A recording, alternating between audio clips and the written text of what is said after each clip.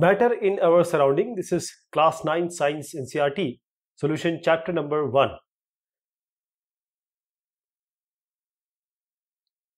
So we are taking question answers on matter in our surroundings. The first is convert the these temperature into Celsius scale.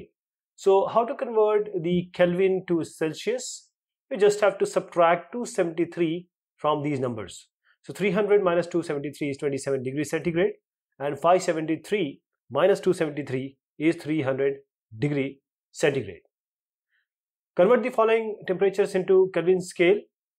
So as we converted the Kelvin to centigrade by subtracting 273, in this case we are going to add 273 in order to convert the Kelvin scale means making the Kelvin scale from the degree centigrade. So 25 plus 273 is 298 and 373 plus 273 is 646 Kelvin. Give reasons for these observation. Naphthalene ball disappear with time without leaving any solid.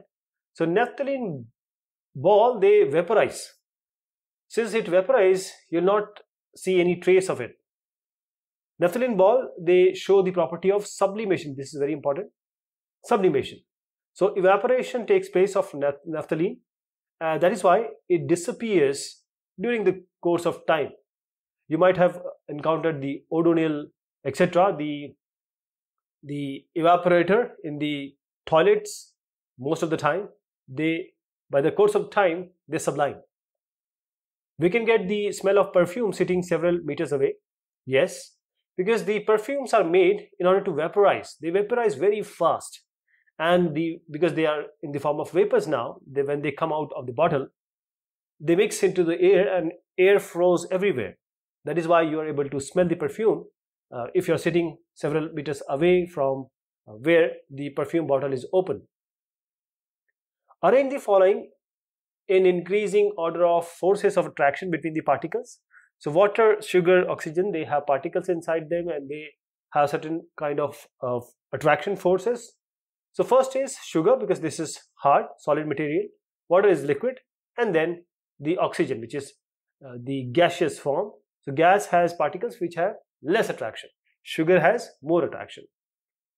What is the physical state of water at 25 degrees centigrade, 0 degree centigrade and 100 degree centigrade? So 0 degree, this 25 degree is almost uh, room temperature. 0 is uh, lower, 100 is higher. So let us start by saying this 0, 25 and 100. At 0, it will be solid and liquid. At 25 degree, it will be liquid. And at 100 degree, if you boil the water, you'll see the liquid and the vapors together.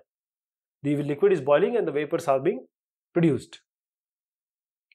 Give two reasons to justify water at room temperature is a liquid. So water at room temperature is liquid because it has fluidity, it can flow, and it has definite volume. You know if you fill it in the in a glass or a bottle you'll see that it is taking definite volume. But there is no definite shape. You can put it in the bottle you can put it in the glass or anywhere. So there is no specific volume. An iron almirah is a solid at room temperature. So the iron iron almirah or any anything which is solid this is solid at room temperature because it is rigid and it has a definite shape Next is why is ice at 273 Kelvin more effective in cooling than water at the same temperature? This is because the solid, there are certain phases, you know, solid, liquid, gases. So the energy content is different. There are, there are latent energy, latent energies of vaporization, latent energy of fusion, etc. So the ice at 273 K or Kelvin is less energetic than water. Why? Because the difference in the latent heat of fusion, this is very important, latent heat of fusion, which is present in water at the same temperature in the form of extra energy. That is why it is having an extra energy. That is how.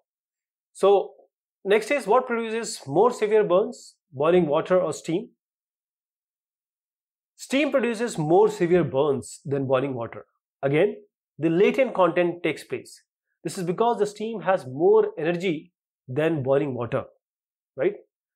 Because uh, we have latent heat of vaporization, the form the steam has more energy than boiling water because of the latent heat of vaporization it carries. Name A, B, C, D, E, F in the following diagram showing the change in state. So we are changing A in A solid to liquid. This is melting. Then next one is B which is liquid to gas which is boiling. Then we have C which is coming back from uh, gas to liquid which is condensation. Then coming back from liquid to solid which is solidification. E is directly converting solid to gas which is the sublimation. And now converting the gas to solid F which is decrease heat and increase pressure. Here we increase heat and decrease pressure. In this case, it is sublimation. These are question answers on matter and its surrounding. Thank you so much and take care of yourself.